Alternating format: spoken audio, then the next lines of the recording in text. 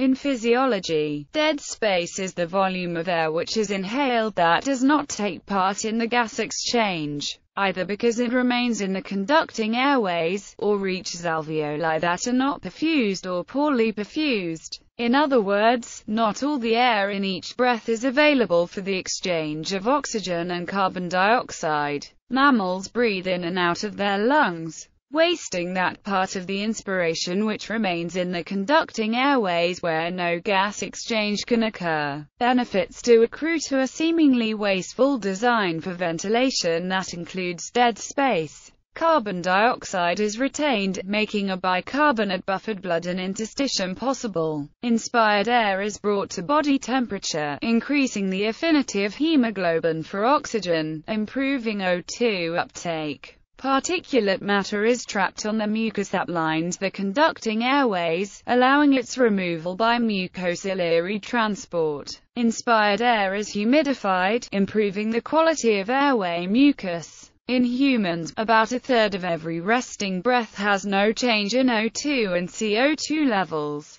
In adults, it is usually in the range of 150 milliliters. Dead space can be increased by breathing through a long tube, such as a snorkel. Even though one end of the snorkel is open to the air, when the wearer breathes in, they inhale a significant quantity of air that remained in the snorkel from the previous exhalation. Thus, a snorkel increases the person's dead space by adding even more airway that doesn't participate in gas exchange components. The total dead space is the sum of the anatomical dead space plus the alveolar dead space. Anatomic dead space Anatomical dead space is that portion of the airways which conducts gas to the alveoli. No gas exchange is possible in these spaces. The normal value for dead space volume is approximately the lean mass of the body, and averages about a third of the resting tidal volume. In Fowler's original study, the anatomic dead space was 156 plus or minus 28 milliliters or 26% of their tidal volume. Despite the flexibility of the trachea and smaller conducting airways,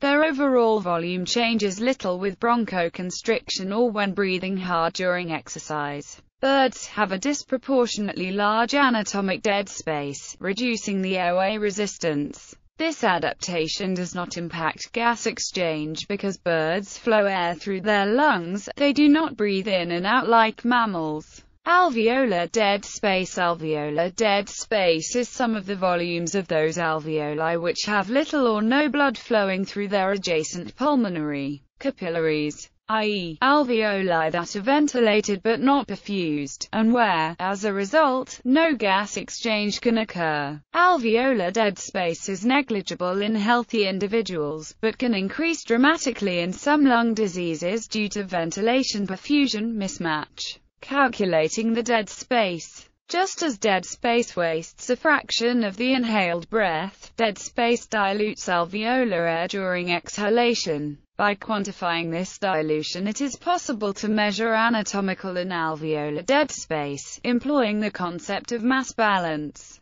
as expressed by Bohr equation, whereas the dead space volume n is the tidal volume, is the partial pressure of carbon dioxide in the arterial blood, and is the partial pressure of carbon dioxide in the expired air. Physiological dead space The concentration of carbon dioxide in healthy alveoli is known. It is equal to its concentration in blood since CO2 rapidly equilibrates across the alveolar capillary membrane. The quantity of CO2 exhaled from the healthy alveoli will be diluted by the air in the conducting airways and by air from alveoli that are poorly perfused. This dilution factor can be calculated once the CO2 in the exhaled breath is determined and then measuring the mixed gas in the collection bag. Algebraically, this dilution factor will give us the physiological dead space as calculated by the Bohr equation. In this case, the end-tidal sample of gas contains CO2 at a concentration that is less than that found in the normal alveoli. Caution. The end-tidal CO2 concentration may not be a well-defined number. Poorly ventilated alveoli do not generally empty at the same rate as healthy alveoli. particularly in emphysematous lungs, diseased alveoli empty slowly, and so the CO2 concentration of the exhaled air increases progressively throughout the expiration. Monitoring alveolar dead space during a surgical operation is a sensitive and important tool in monitoring airway function. During strenuous exercise, CO2 will rise throughout the exhalation and may not be easily matched to O blood gas determination, which led to serious errors of interpretation early in the history of dead space determinations. Example. For a tidal volume of 500 milliliters, an arterial carbon dioxide of 42 mm Hg, and an end expired carbon dioxide of 40 mm Hg, and so anatomic dead space a different maneuver is employed in measuring anatomic dead space.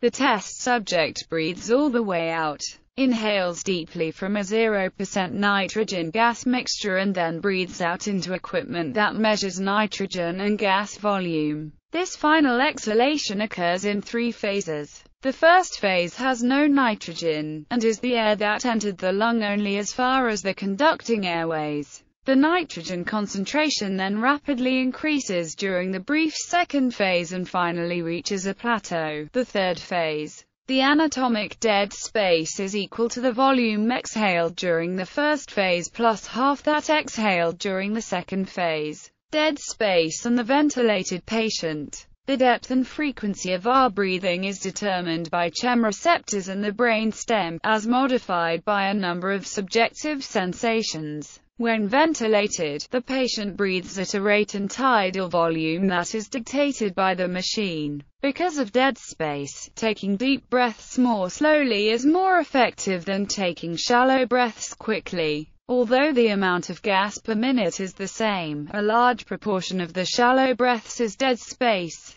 and does not allow oxygen to get into the blood. In breathing apparatus, Dead space in a breathing apparatus is space in the apparatus in which the breathing gas must flow in both directions as the user breathes in and out, increasing the necessary respiratory effort to get the same amount of usable air or breathing gas, and risking accumulation of carbon dioxide from shallow breaths. It is in effect an external extension of the physiological dead space. It can be reduced by using separate intake and exhaust passages with one-way valves placed in the mouthpiece. This limits the dead space to between the non-return valves and the user's mouth and or nose. The additional dead space can be minimized by keeping the volume of this external dead space as small as possible, but this should not unduly increase work of breathing. With a full face mask or demand diving helmet, keeping the inside volume small, or having a small internal oronasal mask inside the main mask, which separates the external respiratory passage from the rest of the mask interior. In a few models of full-face mask a mouthpiece like those used on diving regulators is fitted, which has the same function as an oronasal mask but can further reduce the volume of the external dead space, at the cost of forcing mouth breathing. In medicine this is corrected by a ventilator setup check that determines the dead space volume in the ventilator circuit.